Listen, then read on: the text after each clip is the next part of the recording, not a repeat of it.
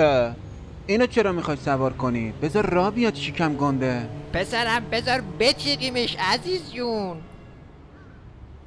اه، اه، حاجی مسئلتون آیا روح همون روانه؟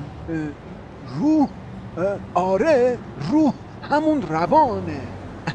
پس اگه اینطوره از این بعد ما به جای روحانی به شما می‌خوایم بگیم روانی. داداشی ضبط رو روشن کن حال کنی. تو مثل زغال منقل گاهی سرخی گاهی سردی. تو همون ولی فقیه کج و کله چی شد؟ آقا قطع کن قطع کن این اسمات ضد نظامو. چی چی رو قطع کن؟ داریم حالش رو می‌بریم.